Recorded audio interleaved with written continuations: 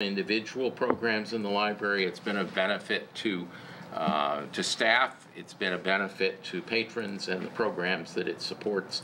So I think it's a, you know, it, it's really been a very valuable resource. So, um, we discussed at the finance committee meeting that we would do it, here's a draft.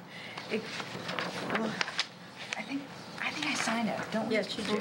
And, Yeah. Well, you can mail um, any suggestions to me as well. I'm the ghost writer with Betty's editorial help.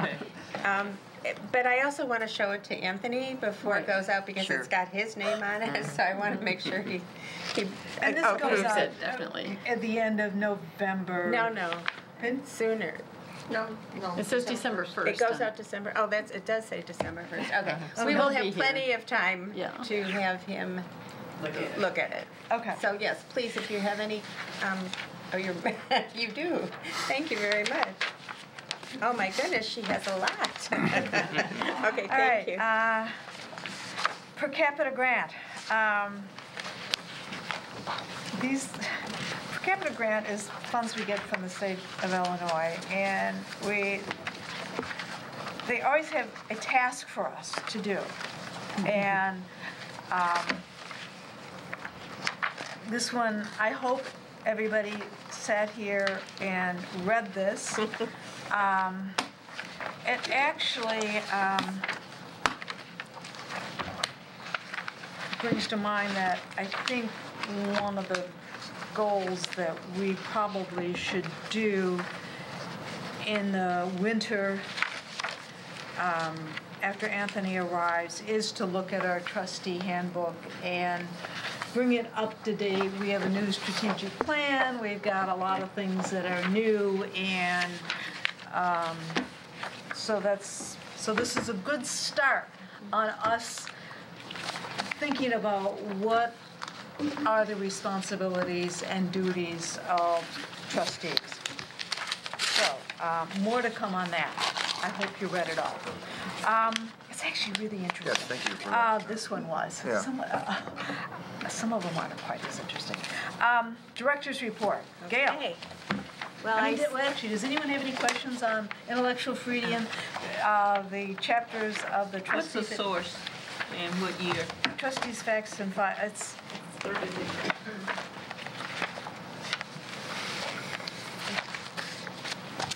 it doesn't say it there. No, it didn't say, I was curious. It's chapter six of a book, so. But, but I, it's been, it's on, I think it's on the Secretary of State's website. I remember seeing it.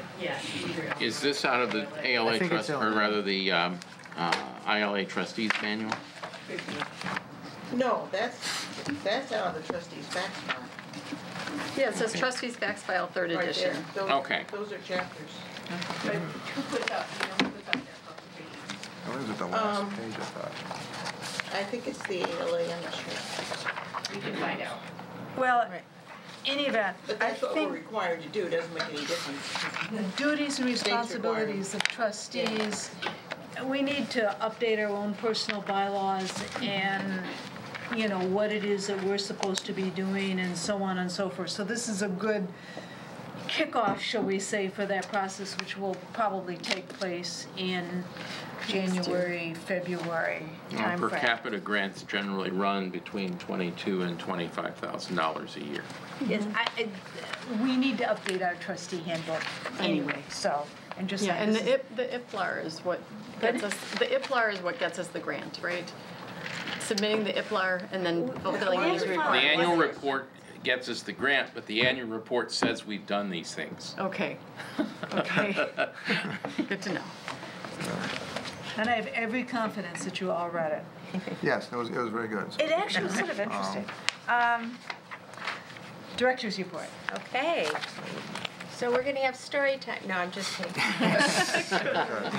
So my first um, item is that the youth department has added some Vox books to their collection. And what it is, is um, included in, there's a little, I'll, I'll start it so I can pass it along so you can hear it going. I do this all the But time. you can put in um, headphones or you can just listen and it has, it's like everything new is old. It's just like those old audio cassettes that we, you know, and it tells you when to turn the page. It's not very loud. So you're supposed to have headphones You on? either can have headphones, or let's see if I can, that's probably as loud as I can make it. The idea is it's supposed to be independently, the child can read, oh, there you go, can read the book, can um, read the words, turn the page, and um, they're very popular. We're not the first library to have the collection, but um, it's just going to be going out probably tomorrow. And They'll it's called be- Vox, like V-O-X. VOX, yeah. right. Nice. So the uh, November off the shelf, I said that is going to go off, go out um, to residents around October 25th. So it's at the printers right now. I think what I was thinking about the letter is that it has to, it's mailed out on the first, but it has to be done before because we have to send it to the printer. So that was why I, I was like, why are we hurrying through it? But it's because we have to print it. So that's why I wrote it for Anthony. Um, we're, uh, something else that the Community Services Department is working on is creating a community calendar so that we will be aware of what local events are happening in the village. he likes it. That's we all have this memorized by now? It's gonna come back. That's the where the page, the sound is. Yeah, I, I could do this. He knows it by heart. I do. We all know that one by Yeah. heart. Um, and we're also trying to make sure that the programs that we plan on a particular day aren't competing with something big like the Oscars or whatever. Right. So it's something that we've been thinking about doing for a while, and um, oh, thank you for passing it along. And so that's something that they're going to. Um, So will it be an internal document? How will that yeah, be yeah. distributed? No, just internally. Okay. So that we're aware. In fact, there's a, the Linden Fall Fest. Is that what it's called? That's this Saturday. That's this Saturday. We're trying to get it together to have a table there. All right. Because we're trying to make sure that the library has a presence in as many um, village events that we possibly can. Will friends also be there? Because they generally show up everywhere. I honestly don't know. I'm trying to get the book back there, but I, I don't think I can ride it, so, I And- mean, and that's- I know. It's kind of far. Oh, for- is it? I just Well, met it's it. the, the, Fourth you and know, Linden. Fourth Oh, and yeah, yeah, Linden. yeah, yeah, that's no problem. You That's, e- could that's do that? easy, that's Oh, easy. okay. But I just, I just, I've got a commitment, I try to get Oh, out, so, yeah. okay. Going on Well- Fourth and So, yeah. Fourth and, it's the Linden Fall oh, oh, Fest. Oh. Funny, I've never I heard live of it. I haven't uh, heard about it. In Stop 25 at what years. public- Between 12 and 4. Yeah. And the children's part is 12 to 2, and then the adult part. Really? And even if we have, you know, a table with giveaways, we just want to like, here we are, Wilmette Library. Great. Um, okay, for those of you who have sore arms in the room, um, I actually did not have a flu shot today. Oh. But Mike Boone, our HR person, um, coordinated a flu shot clinic, and I don't know how many numbers there were, but it seemed like there were a lot of people who did get their flu shot. So I think it was a really good service. Uh, Let me just shut this off because we don't Oh, you want. know how to turn it on, yeah. Okay. Um, glad you enjoyed that. It, um, the full-time, uh, the full-time staff gets, it's part of your insurance, you get a free flu shot, but this was also free for the part-timers as well. Oh, it was? It was. And we had, um, flu shots for younger people and the older people. How flu sh- you? Yes. Flu shot, you know, the, the. high dose. High dose, right, right. So we had some, uh, we had both of those. And also, if you couldn't make it to the clinic today, full timers, of course, can go, but also the part timers can go to the, the Walgreens on um, Green Bay Road, the 811 Green Bay Road, and get their flu shot. So we had two staff members go to ILA conference in Peoria, and both said that it was a fantastic experience. They were very excited and enthused by um, the conference, and so I think they will be sharing some of the things that they brought back with us, so that's always good. We have a new monitor, a substitute monitor. He has no hours, but what we found is we had one monitor who was out for a while, and it was a hardship to have the on-staff monitor sub.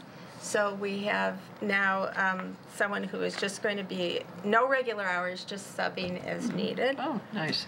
Um, we, uh, the application for Karen Joshi's position has received a number of applications. In fact, today Betty and I and Karen and Mike met and looked over the applications. How many? There were 10 applications that met the minimum requirement, which was an MLS. There were a number of others that did not have the MLS, but we d- felt that we needed to um, have that as a requirement. How many internal candidates? We do not have any internal candidates. Um, And so there is going to be a committee that's formed. Mm-hmm. Right now, it is going to be me. We know for sure that it's Krista Hutley from the Adult Services Department. The mm-hmm. Youth Services representative has not been appointed yet. And um, Mike will be, um, he will coordinate everything, but we will go through and, and do the interviewing process. And we really want Anthony to have a chance to mm-hmm. meet the final candidates before a decision is made. Um, so we're going to be partying. We're going to have parties for welcoming Anthony and parties saying goodbye to Karen. And um, so the community parties will all be, both will be um, advertised enough, or, no, or the public will be notified and off the shelf. When is uh, Karen's last day? Has that been set? She thinks it will be the 30th of November. Okay. So, so in terms of programming, the Death Cafe that I talked about had um, actually a lot of people, 30 people, Yeah. and people wanted to have another one. So it's scheduled for February in 2019. Betty mentioned that we're having the author of Call Me American come this Thursday.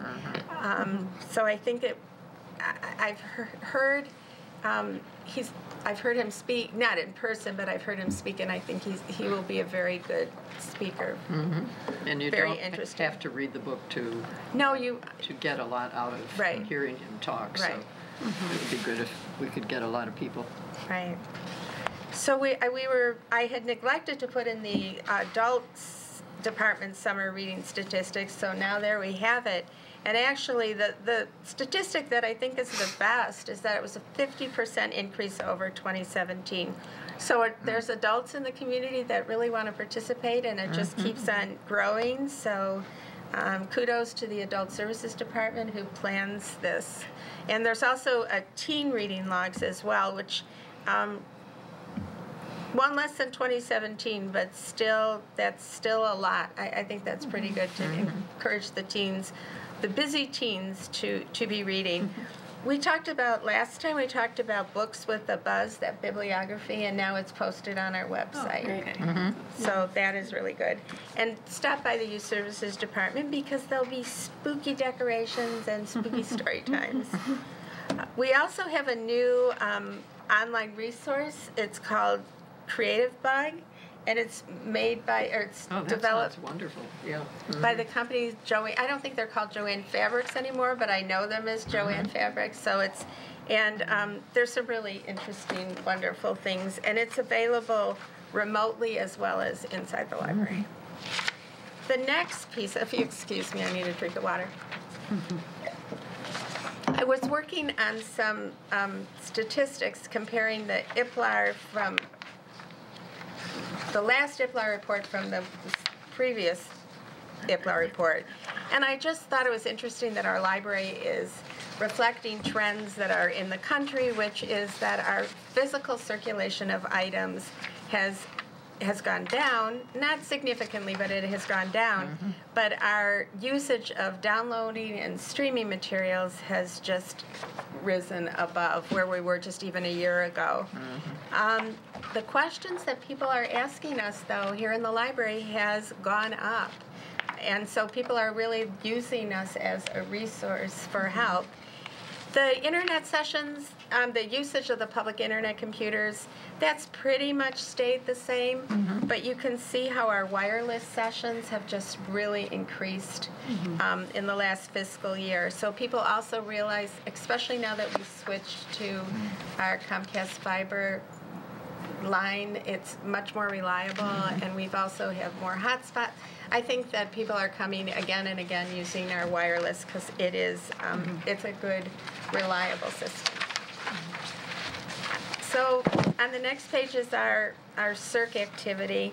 And um, I looked at the, the number of items and I said, wow, and then I realized, because from last, last month, it went up 168,000.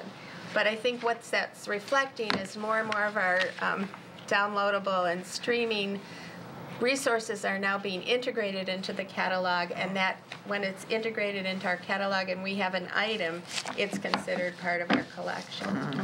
So that, I don't know if anybody else noticed, but those, the number of ebooks, last time it was eighty-two thousand nine hundred and thirty-five, I mean, last time meaning last month, and now it's hundred and ninety-nine thousand nine hundred and twenty-nine. So that's the, I mean, one of the reasons why that number jumped so significantly.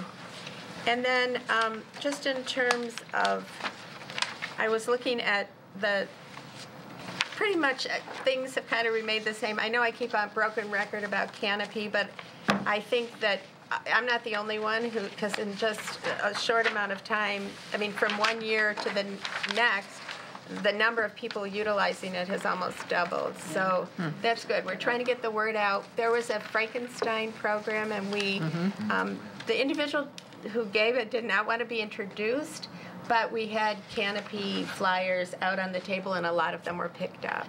So we didn't want to take away from Yeah. he just wanted to start his program and go, but we, d- we are going to try and do as much promotion of the databases as we can.